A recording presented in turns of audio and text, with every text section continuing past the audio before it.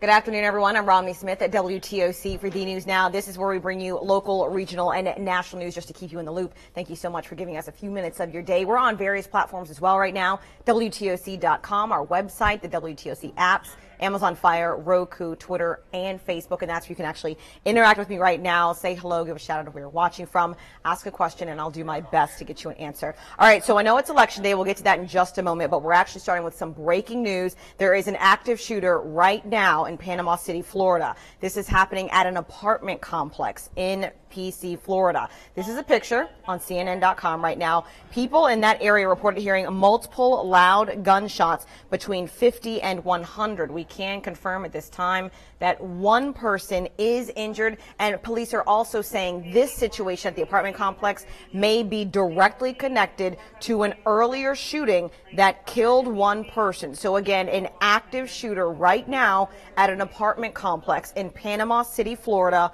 One person is confirmed to be injury, injured. We do not know exactly where they're injured or the extent of that person's injury, but we are working to get more details.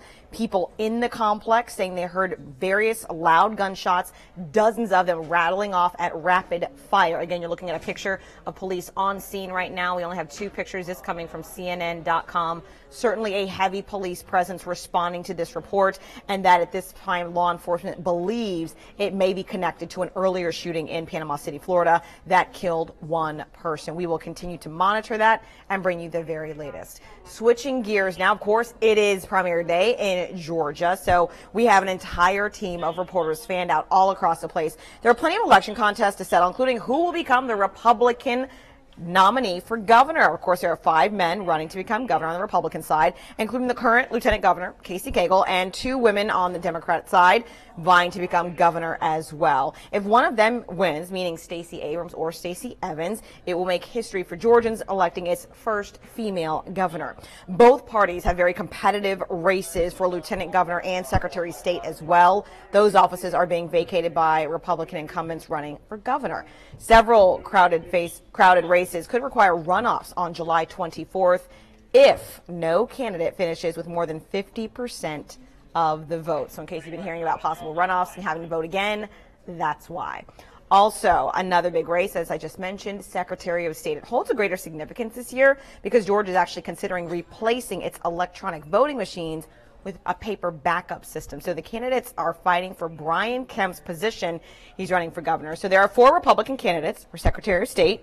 One is the current mayor of Alpharetta, David Belle Isle, and the other is State Representative Buzz Brockway. There are also State Senator Josh McKoon and State Representative Brad Raffensperger. They're all qualified and running right now as Secretary of State can Republican candidates. Now on the Democratic side, running for Secretary of State, we have former U.S. Representative John Barrow facing former State Representative Dee Dawkins Haigler and R.J. Hadley, who was the Chief Deputy Tax Commissioner for Rockdale County. That is just one of the many races we're covering for you today at WTOC on Election Day. Again, another thing to keep in mind, this election day has already had hiccups. As you know, the polls opened at 7 o'clock this morning. They will stay open until 7 p.m. And from the very beginning, there were issues. WTOC's um, reporter Meredith Parker has more.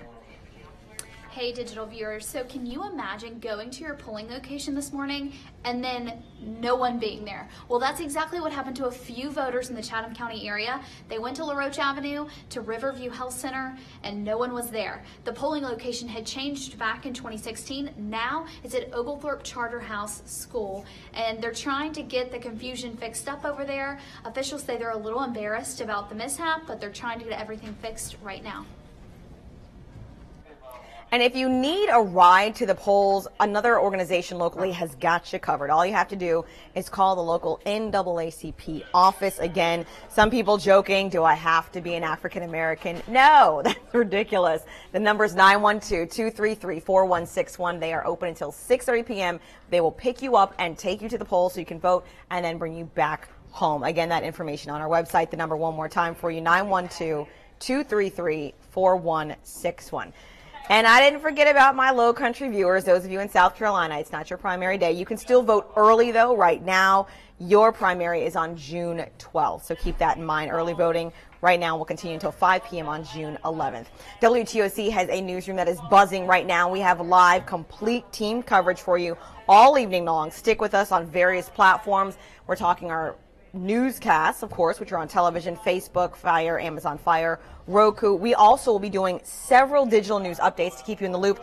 In fact, we were doing so many I had to write them down. We're coming back on at 7:30, 8, 8:30, 9, 9:30, 10, and 10:30 just to make sure you are up to date with the very latest of the numbers coming in on local, regional, and state level offices with the Georgia primary. So, you can always stay in the loop on our website wtoc.com for all of that. And of course, I like to end with something a little light and I can't end without giving a shout out to the Benedictine Cadets. They got their second, yes, look at the video, their second state title in baseball since 2014. This is their third overall. They beat the Berrien Rebels by sweeping both games in the best of three series at Grayson Stadium. The Cadets battled back to win game one, six to three, and then wrapped up the title with a three to zero shutout. A big congratulations to them. An incredible season. And from all of us here at WTOC, congratulations to all of you. I know those seniors are especially excited because they got to end their senior year with a state title. So excited. Congratulations, guys. You guys had an amazing season. I always tell you guys you can weigh in on Facebook right now leave any comments, questions, concerns. See a lot of you guys saying hello. Thank you so much for watching us. We certainly appreciate that. And now a lot of you weighing in on that active shooter situation I mentioned at the very top of the newscast happening in Panama City, Florida right now. Here's another picture again of the very heavy police presence. There was multiple shots. Residents report anywhere from 50 to 100 rapid fire shots that they heard. One person has been confirmed injured at this time, and authorities also believe it might be directly tied to another deadly shooting in the Panama City area. So Patricia Carl Swinson weighing in saying, I'm so sorry. Other people saying sending out prayers to them. So we certainly appreciate you guys weighing in. And of course, my girl Janet Dozier in Jacksonville. Love you for watching all the time, saying it's raining cats and dogs in Jacksonville. Us here too. We've got a lot of rain going on, and I know someone else was saying they're tired of the rain. Unfortunately, it's in your forecast for the next few days. So, of course, if you want more details on the forecast, you can always tune in at 4 p.m., the CBS affiliate right here in Savannah. We will have your full first alert forecast, but I can spoil it already for you and say there's more rain that's coming. You can always join us online at WTOC.com and our social media platforms. We thank you for spending just a few days out of minutes out of your day with us to get caught up on all the breaking news.